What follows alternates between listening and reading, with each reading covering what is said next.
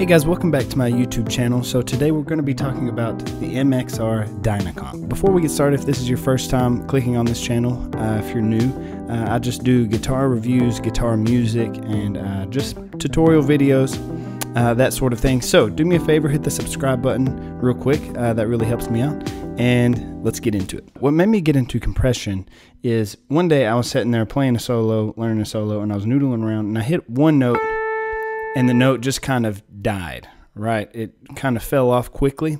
Uh, and I found that it just kept doing that. And so um, in the solos that I was listening to, that wasn't really the case. Uh, and so compression is how I came to learn that you can fix that. So what compression does is it takes the signal that's coming from your guitar and uh, if the signal volume is low, then it boosts that volume. And if the signal volume is high, then it brings that volume down. So it tries to maintain this even keel volume. So that's mainly what I use it for, is to sort of bring an even keel to the sound and not overly compress the sound, but just enough to where, like I said, it boosts those low volumes and sustains the note just a little longer. Uh, and then the higher volumes brings it down just a little bit. Uh, and so this setting that I have it on right now is about where I use it. It's very um, very subtle. You still get the sound of the guitar. Uh, as you see, when I start messing with it, you can sort of lose sort of the sound of the guitar, and it can kind of become a little bit more uh, MIDI sounding or fake sounding almost, you know. Um, but this is about where I like it. And like I said, it really kind of helps boost the longevity of the note. So if I turn it off and play the note. That's about as long as it lasts. If I turn it on and play the note.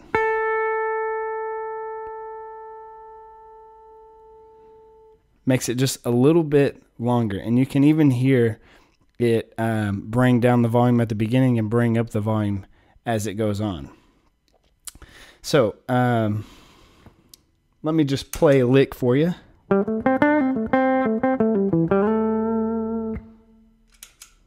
And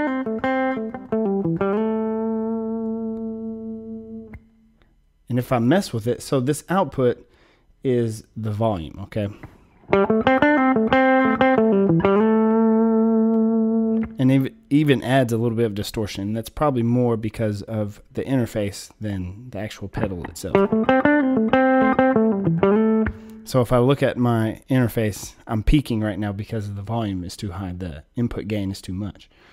Uh, and so as you adjust this sensitivity, it will make the output even louder. So you need to adjust this one down as you adjust this one up. So if I bring it about here,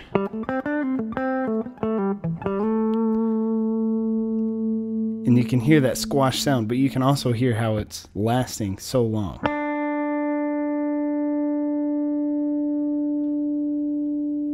The note is seemingly just going on forever, right?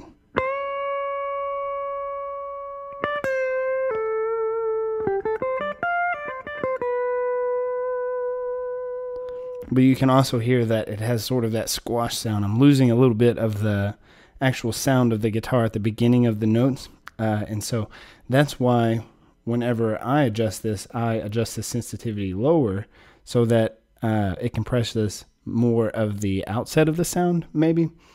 Uh, and so let's turn this up even more just to work in some extremes, you know, now.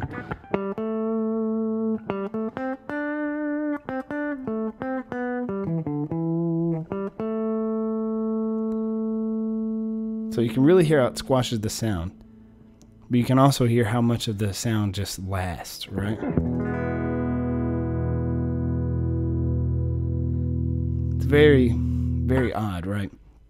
So, like I said, the way that I like to have it is probably about there and somewhere about there, maybe.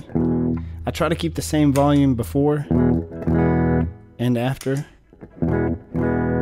So maybe I'm losing just a tiny bit of volume, so I might turn up the sensitivity or the output, either or. And then when I play a lick,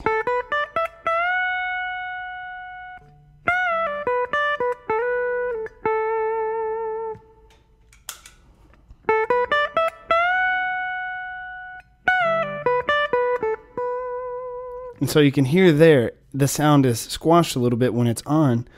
So I would probably adjust this even just a tiny bit lower. And now you can hear I, I'm, I'm bringing more of the guitar sound back at the beginning of the notes.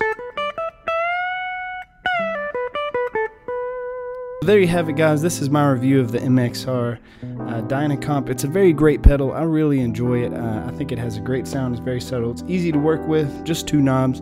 There are others that have four, five, six knobs.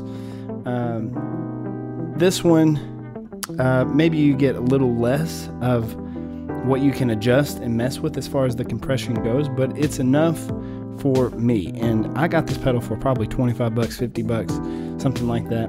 Uh, brand new. I think the price maybe has gone up now, but uh, it's still a great pedal, worth a buy. And lots of people are using this pedal. It's simple, it's great. I like it. So, guys, again, uh, thanks for tuning into my YouTube channel today. If this is your first time here, again, I do all things guitar. Uh, so hit that subscribe button for me, stick around, and uh, just leave a comment. Let me know what you think. Uh, I'd love to respond and get back to you. All right, see you guys in the next video.